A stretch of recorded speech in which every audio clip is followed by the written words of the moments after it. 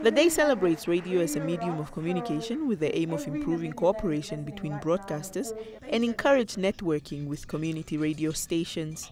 The Information and Communication Minister emphasized the importance of making use of radio to promote democracy and deal with social issues affecting young people.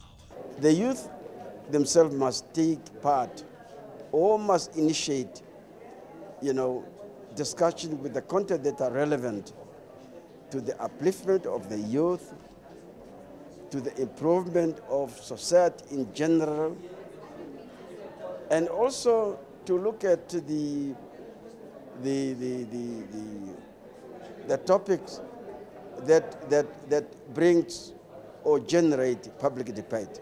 As part of the celebration, a three day workshop was hosted on producing participatory and relevant youth related programs.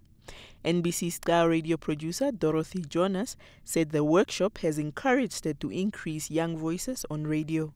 The youth in Tsumkwe and the youth are in Windhoek maybe uh, saying the same, uh, talking the same things. They have got things that they like the same way. But youth in Tsumkwe, if you ask them, uh, I don't know, they cannot say more of what, they cannot express themselves, I can say.